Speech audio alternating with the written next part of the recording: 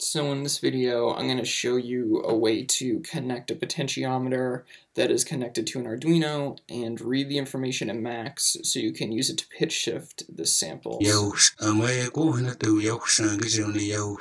So we want to pitch shift that.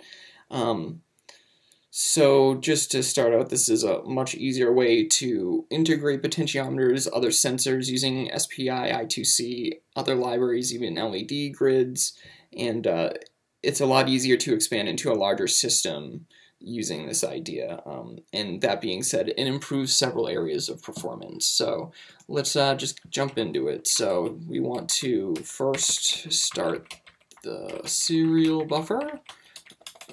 Um, I really like to comment my code, helps me later on.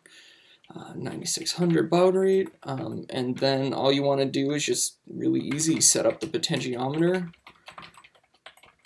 there you go. And then you want to uh, write the pot values to the buffer. And that's why we use serial.parse or eh, serial.println because they'll also send a carriage return with the value, which is what we want. Uh, so that's the whole sketch. Uh, there you go. So let's set it up. Just got to turn on my camera. Sorry about that. Um, next, let's just connect it and start polling. So as you can see, um, all the values are from 0 to 1023.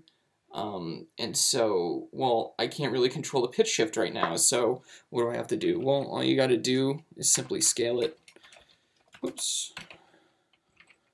0 to 1 and then you should be on your way. Um, just a note, this is why you would probably want an, um, an ADC, analog digital converter, uh, that will actually smooth out your signal a ton.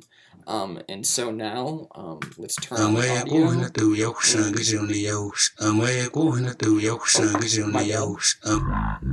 There we go.